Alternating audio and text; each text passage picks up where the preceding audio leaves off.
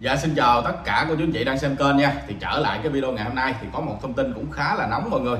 Đó là thầy uh, Thích Minh Đạo à, đã có những gọi là uh, phát biểu tán dương thầy Thích Minh Tệ. Thì ngày uh, ờ, uh, mấy ngày trước đã phải gọi là làm một cái báo cáo về những cái nội dung mà mình đã gọi là tán dương thầy Thích Minh Tệ. Thật sự là một cái điều mà khiến cho nhiều người cũng phải xót xa. Và khi đó thì uh, thầy lại có tiếp, tiếp thêm một cái bản gọi là à, xin gọi là nghỉ tham gia à, vào à, giáo hội. Nghỉ tham gia cái việc à, trong giáo hội luôn của chú chị. Thầy thầy, à, thầy à, thích minh đạo nè. Đó thì à, một cái thông tin cũng khá là nóng khá là sốt luôn. Đó, dành cho những người yêu quý những cái à, à, người mà tu thật. Đó thì à, thầy à, thích minh đạo đã có những cái phát ngôn của mình à, cách mấy ngày trước. Thì ngày hôm nay là thầy phải báo cáo về cái nội dung đó. Tại sao lại ủng hộ thầy minh tệ thì sau đây em sẽ chia sẻ đầy đủ cái bài báo cáo này cho mọi người à, được nắm rõ ha. Và cái bài xin thôi à, giữ chức vụ à, làm việc trong à, bên giáo hội cũng như là à, bản kiểm điểm của thầy thích minh đạo nha cô chú chị kính gửi ban trị sự giáo hội phật giáo việt nam tỉnh bà rịa vũng tàu. Kính thưa quý ban thường trực ban trị sự xã phú mỹ nhận được sự chỉ đạo gấp của Ban trị sự tỉnh vào ngày 16 tháng 5 2024 về việc Thượng tọa Thích Minh Đạo có lời phát biểu thay mặt cho Phật giáo tán dương người có tên là Minh Tệ trên mạng TikTok. Trưởng ban trị sự xã đã thực hiện triệu tập chư tôn Đức Tăng trong ban thường trực họp gấp vào ngày 17 tháng 5 để làm việc với thượng tọa thích minh đạo. Trong buổi làm việc, thượng tọa thích minh đạo đã nhận biết lời phát ngôn của mình là sai. Thượng tọa có trình bày. Trong lúc giảng cho phật tử, vì phật tử có hỏi nên trả lời theo bản năng. Không kiểm soát được lời nói với việc đưa lên mạng xã hội là do đệ tử của thượng tọa đưa lên, chứ thượng tọa không biết đưa lên mạng xã hội sau khi nghe tin, ban trị sự mời thượng tọa đã kêu đệ tử gỡ các clip trên tiktok xuống rồi. Nên trước ban thường trực, thượng tọa thích minh đạo sám hối ban trị sự và xin sửa sai vì đã làm kinh động đến giáo hội và phiền lòng các chư tôn đức trong ban thường trực phải có cuộc họp gấp hôm nay. Thông qua lời phát biểu của thượng tọa thích minh đạo cùng ý kiến với chư tôn thường trực ban trị sự, thị xã đã kết luận như sau. Một, thượng tọa phát biểu đại diện cho phật giáo là sai. Hai, thượng tọa là người trong tổ chức, có chức sắc, chức vụ trong lúc việc chưa rõ ràng mà phát biểu đưa tin lên cộng đồng, tạo luồng dư luận không hay. Vì vậy à đâu rồi? Trang tiếp theo nha gì?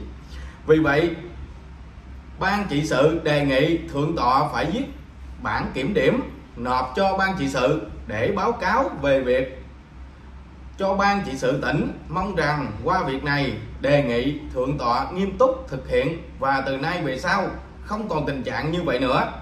Trên đây là kết quả làm việc của ban thường trực ban trị sự xã.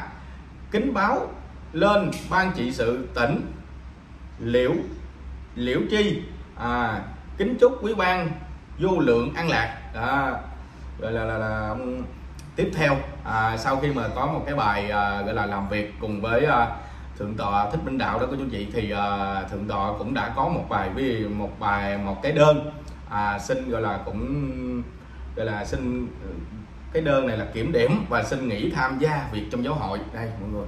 Đó, mọi người thấy ha? Đây chúng mình để cái đơn đơn này lên cho mọi người thấy rõ hơn. Nha mọi người đây em sẽ chia sẻ cái cái, cái bài này luôn nha mọi người. Trong cái đơn này à, thượng tọa thích minh đạo đã nói gì nha?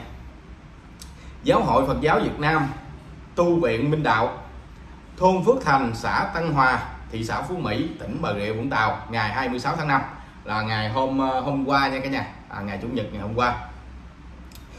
Trong cái đơn mà của ờ, thượng tọa viết như thế này. Nam mô bổn sư thích ca mâu ni phật ban kiểm điểm, bản kiểm điểm và xin nghỉ tham gia việc giáo hội. À,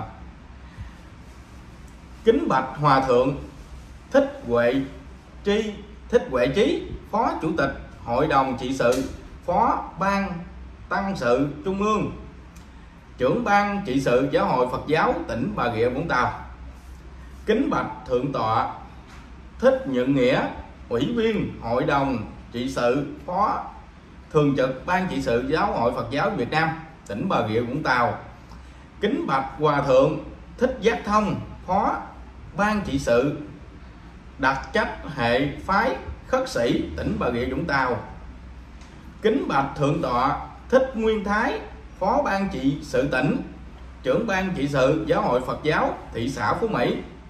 Kính bạch chư tôn đức ban trị sự giáo hội Phật giáo tỉnh Bà Rịa Vũng Tàu thị xã Phú thị xã Phú Mỹ Bà Rịa Vũng Tàu. À, cái chữ nó khó đọc quá mọi người nó hơi bị mờ nha mọi người thông cảm nha con tỳ kheo thích minh đạo, ủy viên thường trực ban trị sự tỉnh, phó ban trị sự thị xã Phú Mỹ, trưởng ban kinh tế, tài chính xã, chánh đại diện, Phật giáo liên xã, tăng Hòa tăng Hải.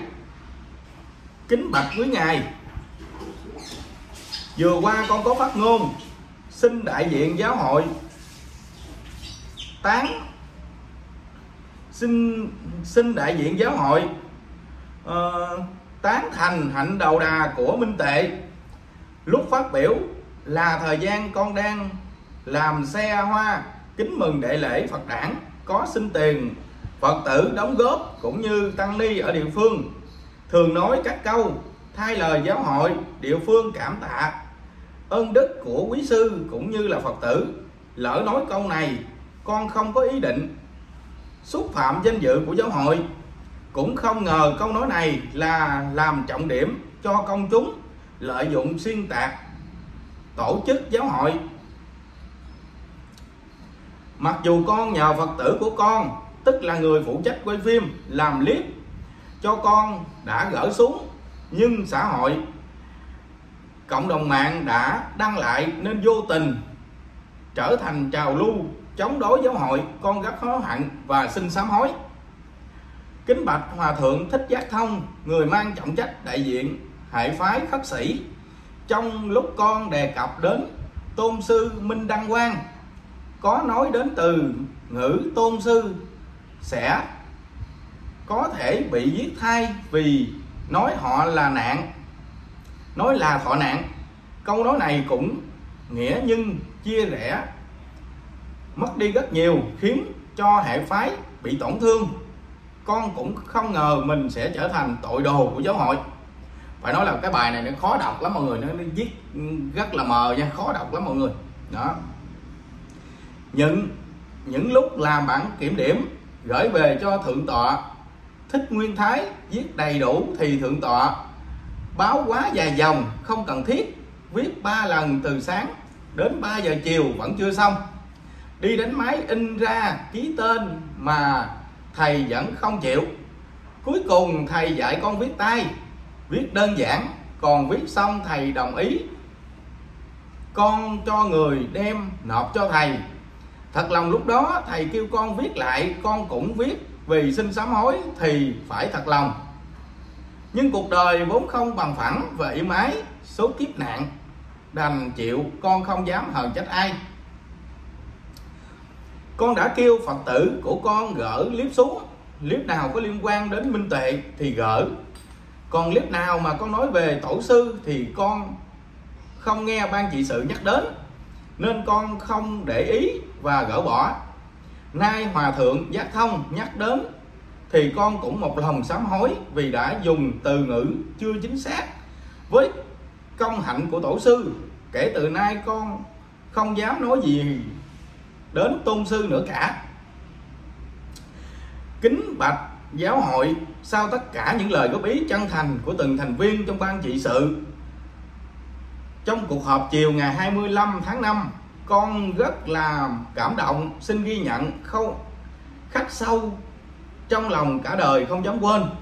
Và từ đó con cũng không dám hiện diện trong giáo hội vì sợ làm mất thanh danh, mất quy đức của giáo hội như thượng tọa nhận chí, phó ban trị sự, phó ban thường trực, ban tăng sự, tỉnh nhà có nói, thà con không làm ủy viên thường trực ban trị sự của tỉnh, không làm phó ban trị sự thị xã thì con phát ngôn như thầy, chân quan và thầy nhận đức có nói gì cũng được, giáo hội không quan tâm, vì không làm chức sắc trong giáo hội con cảm thấy lời chỉ dạy của thượng tọa, chí phải nên con vâng lời. Kính bạch giáo hội, con nay không phải khơi dậy những ý kiến thuận nghịch trong giáo hội. Con cũng không muốn bới lông tìm vết kiện thưa gì.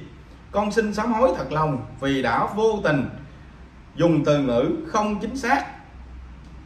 Trong các clip trên mạng, vẫn chưa được quý ban hoan hỷ ghi nhận. Vì vậy, con không muốn làm ảnh hưởng đến giáo hội trung ương, gây nên lớn chuyện cho tỉnh nhà. Con chỉ muốn trình bày đôi điều tận lòng với giáo hội. Rồi con xin dừng dừng việc làm trong giáo hội ở các chức vụ, ủy viên thường trực của ban trị sự tỉnh, phó ban trị sự thị xã phú mỹ, cũng như chánh chánh đại diện phật giáo liên xã tân hòa tân hải trong lời phát biểu của thượng tọa, thích những chí có nhấn mạnh trách giáo hội thị xã cho con thay mặt giáo hội thị xã con cảm tạ trong buổi khai hạ. Ngày khai hạ, thượng tọa nguyễn thái nguyễn thái trưởng. Nguyễn thái trưởng ban phải đi dự đại hội mặt trận tổ quốc việt nam, thị xã phú mỹ. Thượng tọa vĩnh tế chỉ đạo cho con thay lời ban trị sự thị xã cảm tạ. Con cũng không ngờ việc này đã đưa con trở thành tội đồ của giáo hội. Con ngại phải về trung ương, khiến dân tình đồn đại khắp nơi. Con ngại lắm phải làm kiểm điểm với tới trung ương. Con cảm thấy đời tu sĩ gian chân quá. Lỡ một lời, lỡ bận, một lời, bao người nhìn mình với đôi mắt xa lạ. Những lời nói nghe như thâm tình quá mà quặn thấu tim can nay con sám hối lần cuối và cũng nói lên tiếng lòng mình. Kính trên đức hòa thượng trưởng ban trị sự cho phép con được tu tập trong tu viện. Con sẽ không tham gia việc giáo hội nữa. Con sẽ khép mình trong yên lặng. Kính chúc chư tôn đức phật sự duyên thành.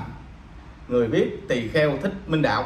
Đó, đây là một cái bài chia sẻ của uh, thượng tọa uh, đây, uh, thượng tọa thích minh đạo nha cô chú chị. Đó một bài chia sẻ thật nói thật sự là khiến cho người ta gọi là đôi lúc cũng phải là nếu mà nghe lại thì chúng ta có thể là rơi nước mắt luôn cô chú chị. À, thầy chắc mình nghĩ là thầy chắc cũng gọi là như thế nào ta? Nói như thế nào cho đúng mọi người. Thầy cũng không ngờ những cái phát ngôn của thầy mà lại lại gây ra là ảnh hưởng đến bên phía giáo hội Phật giáo mà bên đó phải vào cuộc phải bắt thầy cái kiểm điểm này nọ rất là nhiều. Còn à, những cái người mà như là lên mạng đó mà gọi là uh, cợt đùa đó những cái người mà cũng nằm trong giáo hội đó nhưng mà cợt đùa đó quý anh chị nhưng mà mình không biết là họ có một cái à, chức vụ gì trong giáo hội hay không thì mình không biết. Đó nhưng mà mình thấy là những cái phát ngôn của họ nói chung là nó nguy hiểm hơn cái này hơn cái lời của của của của, của uh, thượng tọa thích minh đạo này nói rất là nhiều quý anh chị nhưng mà họ dường như là không bị ai trách phạt hay là bị một cái gì cả.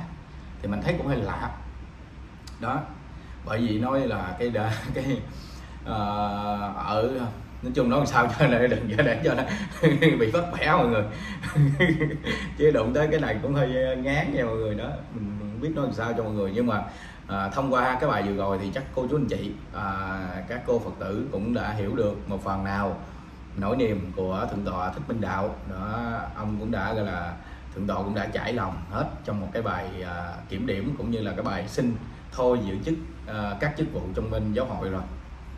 Đó bây giờ là à, thượng tọa cũng muốn là là một người bình thường à, là một người tu sĩ bình thường thôi chứ cũng không gọi là màng tới chức sách gì nữa. Đó một cái gọi là từ bỏ uh, của của thượng tọa luôn. Nhưng mà ở đây thì cũng để lại cho những người phật tử cho những người yêu quý thầy minh tệ cũng phải yêu quý luôn thầy minh đạo. Đó, luôn thượng tọa thích minh đạo luôn của chú chị bởi vì những cái phát ngôn của thầy dường như là thầy cũng ờ, rất là ngưỡng mộ à, cái à, sự việc à, của thầy thích minh tệ nha. Thì cũng do phát ngôn như vậy thầy thích minh tệ đó nên gọi là bị kiểm điểm nha mọi người. Nói chung là vậy đó. Nói chung là cái trong cái bản này thì chúng ta đã thấy quá rõ rồi. Đó từ cái bản báo cáo cho đến cái bản gọi là xin thôi giữa các chức vụ cũng như là bản kiểm điểm thì chúng ta đã hiểu rồi. À, hiểu ra vấn đề nha cô chú chị. Đó thì à, mọi người cũng đừng có hỏi à, vì sao có nhiều à, người không dám lên tiếng. Đó thì đây là một người đã lên tiếng nè. Đó một người đã lên tiếng còn những người kêu cúng dường rồi đó hiến kế rồi đó hiến sách rồi đó, tích chuyển khoản rồi đó. Thì thấy họ vẫn bình an vô sự nha bởi vì họ đâu đụng chạm tới ai đâu. Bây giờ đâu đụng chạm tới ai nên một có lợi cho chùa rồi nữa có lợi cho hai chỗ họ ở nữa thì đâu có cái cái, cái, cái gì đâu mà phải xử lý họ chi mọi người. Đó thì à, à, giờ thì trên cái con đường của thầy thích Minh tệ đi thì à, cũng có rất là nhiều người à, ủng hộ. Đó, sức cái sức lan tỏa của thầy thì càng ngày càng đông. Đó, thì à, mọi người cũng gọi là à, chờ đợi mong là thầy à, thích à, thích minh đạo nè cũng gọi là, là là đi cùng. Sẽ biết đâu là có ngày nào đó biết đâu trải nghiệm cùng với thầy thích minh tệ của ông trần nha cả nhà đó, nếu được như vậy thì phải nói là hai người tốt gặp nhau. Hai người có một cái tâm thiện gặp nhau thì mình nghĩ là cái sức lan tỏa nó mạnh hơn bây giờ luôn cô chú chị à, rồi thì à, nói chung là video này cũng chia sẻ mọi người đến à, những cái như thế thôi. À, có gì thì em sẽ chia sẻ trong những video sau nha. Mọi người nhớ bấm theo dõi bấm like chia sẻ video với em nha cả nhà. Bây giờ thì xin chào và hẹn gặp lại.